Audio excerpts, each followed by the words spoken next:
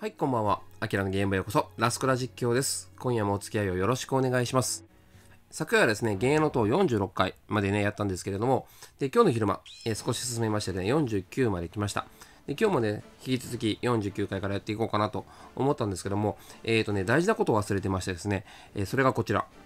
期限付きのガチャチケがね、ありましてですね、それがね、2月27日の12時59分まで、えこれがね、11枚もあるんですよ。で、27日って、要は、あの、あさっての木曜日のね、アップデー開始前までが期限なんだけど、で、逆算するとですね、あの、要は僕、今取っとかないとですね、あの、使う間がないということなんで、えー今ちょうどですね、ガチャチケの方が全部で結構ありますんで、えーそちらの方をですね、今日は回していこうと思います。では行きましょう。このチャンネルは、ほぼ毎日スマホゲーム、特にラストクラウドでの実況を投稿しているチャンネルです。私が中の人、アキラです。以後読み知りおきを。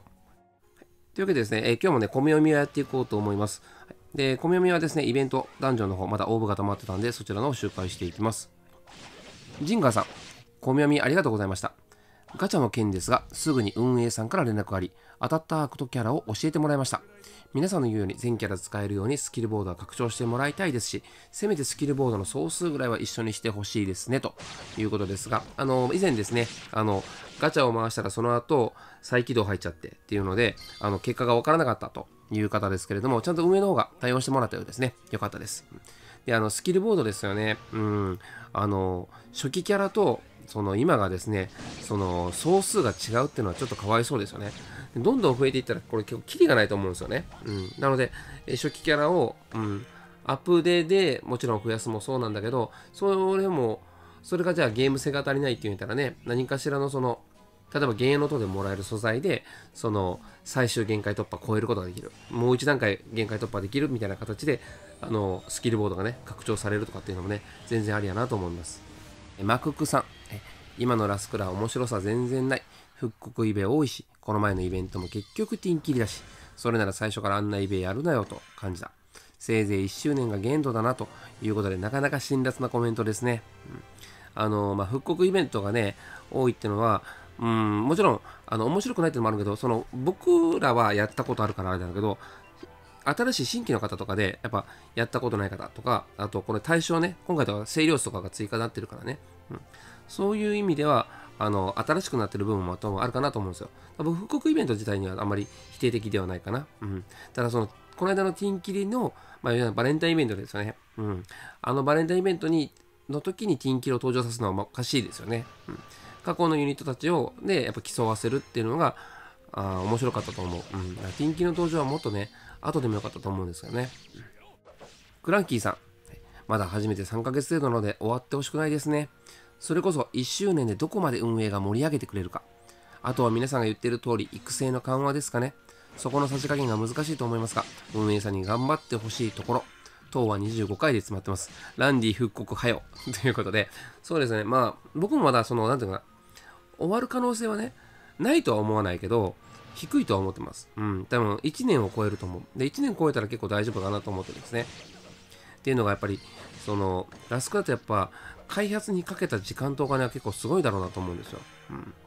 で、育成の緩和ってところに関して言うと、例えばその、もう散々やってる僕らみたいなね、世代って言うとおかしいんですけど、古参って言ったら言い過ぎやけど、最初からやってる奴らはともかく、最近入った人たち、うん、最近始めたばっかの人たちには、なんかもっとガンガンガチャも回せてね、ガンガン育成がしやすい、素材が手に入りやすいような環境をね、作ってほしいかなと思いますね。ね、ランディ復刻してほしいといっぱいいるでしょうね。うん僕もね、あのーコラボワークね、欲しいなと思います。えー、ゴムゾウさん。ロメルはウィーク打ってリリーの魔法で無理やり削り切りました。途中 MP 切りで上級魔法にしながら地道に削って対戦のタイまで6分ぐらいかかってました。時止め魔法連打なので実際は10分ぐらいかかったかな。現在は50回で足止め食らってます。50回の攻略動画待ってますと。いうことですか？昨日ね、僕がね、ロメルで、あの、散々、めんどくさいなこいつ、みたいなこと言ってたんですけど、あの、ウィーク言ったらね、やっぱそうでしょうね。多分、あのいけたやろうなと思います。うん。やっぱね、ウィーク絶対必要やろな。うん。で、50回で足止め食らってるんですね。あの、僕は49回がね、なんかね、いやもう、もう生きる三段をついたんだけどね、今日動画撮ろうかなと思ったけど、あの、ちょっと詰まってます。なのですいません。50回の攻略動画撮れません。申し訳ないです。攻略したいんだけどね、僕も。アクセルさん、ロメル死なない件についてなんだけど、塔だと敵に通常攻撃が入らなかった場合は魔法で倒せるはずです。ロメルは氷魔法で倒せると思います。あと属性耐性が100の敵にウィークを使えば耐えていた魔法でも入るようになるから塔で必須級の魔法です。MP が余っているキャラはウィークを使えば魔法担当のダメージが上がりますから効率よく魔法を打てるメリットがあります。ちなみに塔は40回ぐらいから全属性の魔法がないとちょっと困りますね。キリアのエーテルボースは全属性で発動しますからブラッドホース、金書、魔導オーラつけて今のところダメージが足りています。注意エーテルボースのクリティカル率とブラッドホースだけでは金書のペナルティを受けても死ぬことはないですからクリティカルアップとかいらないです。ということですがこれブラッドじゃなくて多分プラウドホースでしょうね。これはね、ですごいですねやっぱアクセルさん。ね。えー、ロメルはだからあの氷魔法で倒せるし、まあ、ウィーク使えばいいよと。でやっぱウィーク本当必須ですよね。うん。ウィークもそうなんです。僕だからサークルとかねあの辺も、まあ、ついでにつける。だからウィークは逆に言うとその魔法を使わないキャラたちに覚えさせておいてで、えー、サポートしていくと。いうのが大事だなと思いました、うん、まだスキルコストがかさむけどね。でやっぱ全属性魔法は絶対必要だと思います。でこのねティリアのエーテルボースの活用の仕方はすっごい面白いですねこれは試してみたい僕もうんプラウドホースと金書の窓オーラでいけるんや、うんエーテル暴走のクリティカル率アップするんだね。なるほど。で、金賞のペナルティを受けて死ぬことはないと。これはいろいろ試してみたいですね。うん、面白いです。アクセルさんありがとうございます。毎日たくさんのコメント、本当にありがとうございます。残りのコメントに関しては、明日また読まさせていただきます。はい。それではですね、チケットガチャの方なんですけども、えっ、ー、と、提供割合、久しぶりに見ておきましょう。っていうのがね、いろいろ増えましたからね。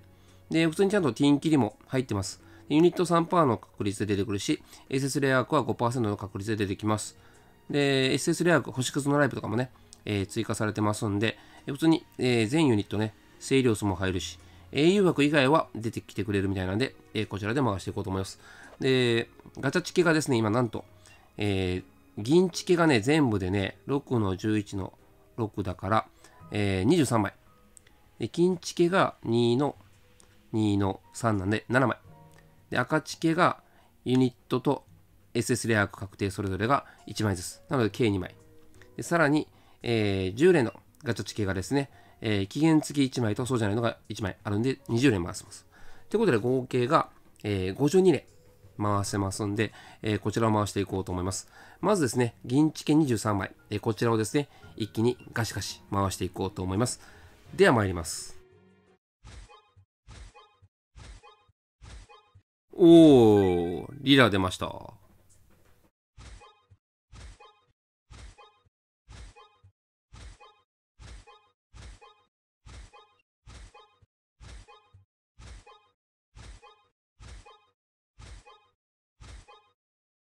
い。という形で、えー、銀チケ23枚がおりました。えー、なんとですね、ユニットのリラ出てくれましたね。はい。まあ、またね、あの数の方は最後ね、まとめてまた言っていきます。ではですね、次、金チケ7枚の方。回していこうと思います。インチゲがね、あと7枚ですね。じゃあいきます。お、来た !SS レア来ました。Thank you スターロードが出ました。はい。ということで、えー、金チケ7枚の結果では、えー、SS レアが1つ出てくれました。Thank you のスターロードが出ました。はい、では、あと残りですね、赤チケと、えー、10連のね、金チケが2枚あるんだけど、どっちから回そう？うん。10連からいきましょうか。えー、10連2枚から回していこうと思います。えー、ここからね、早回しなしでいきますよ。あの、願わくはですね、実は僕も、おこれユニット確定のやつ。ね。まさかの。あの、怪盗ロビンももう持ってないんです、僕。未だロビン難民でして。あと、怪盗ロビンが揃えば、英雄以外は全部揃う。はいそれは分かってた。ユニット確定です。さあさあ。おー、赤玉1個だけ。来いダインでしたはい。ダイン以外全員レッドクリスタル。てかね、もうね、僕ね、あの、SS レアーク以外はね、あの全部100%なんでね、まあそんなもんですね。はい。ダインさんが出ました。では10連もう1枚あるんでいきます。うん、すでにユニットが2体出ている。これはなかなか美味しいのでは。青スタート。まあ、10連ならね、S レア以上は確定なんだけど。はい。というわけで、赤色ないな。SS レアクは出てくんないですね。待ての SS レアクなんですけどね。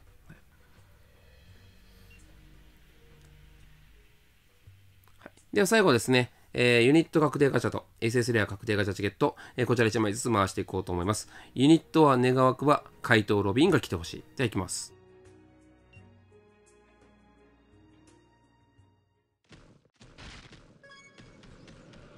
でなんでわざわざ青スタートなんやろそこはもう赤スタートでいいんじゃなかろうか。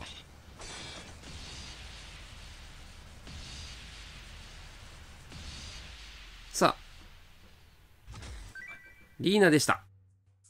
まあ、リーナはリーナで嬉しいよ。あの、そろそろ鍛えようと思いますからね。では、アークの方行こうと思います。アークはね、うん、SS レアアークは、あと100%なってないのが何個ぐらいあったかな。うん。まあ、まだでも、10個以上は100%なってないんでね。願わくは100%になってないやつが来てほしい。まあ、いずれにしろね、レッドクリスタルにはなるけどね。はい。はい。えー、ベルジョーグですね。あ、来てくれました。はい。で、アークエーテルが26%になりました。ということで、えー、っと、結果の方をちょっとさらっと言っときますと、リラがですね、はい、リラがですね、ボーナススキルコストプラス14になりました。僕も7回かぶってるんですね。で、えっと、あとダインか。ダインがボーナススキルコストが6になりました。プラス6。ダイン全然鍛えてないんだよね。で、リーナがもボーナススキルコストがプラス6になりました。では結果です。え本日えチケットガチャを52連回した結果、えー、SS レア枠は2つ。で、ユニットは3体。リーラとダインとリーナが出ました。まあですね、赤チケがね、そのうち2枚ありましたんでね、まあそれ以外のチケット50連で、えー、SS レアークは1個と、ユニットは2体とっていう感じです。まあ確率的には結構いいんじゃないですか。ただなんせ相変わらず怪盗ロビンさんは来てくれないですけどね。で正直最近ね、アークがね、その SS レアしか追加されないじゃないですか。うん。やっぱ S レアとかレアで癖のあるアークとかをね、そろそろ追加してほしいな、種類がね、もう少し増えてほしいなとは思いますね。で、明日のね、晩にはまだアップデの告知が来てると思うんですよ。で、本来ならば、この2月の後半に追加される予定だったアリーナね、本格オープンとか、うんと素材交換所の話とか、あの辺の話がですね、あの、来てくれたらな、嬉しいかなと思うんですけど、明日はまあ、そんな感じでアップデの告知の話をしていこうと思います。それでは、明日の動画でお会いしましょう。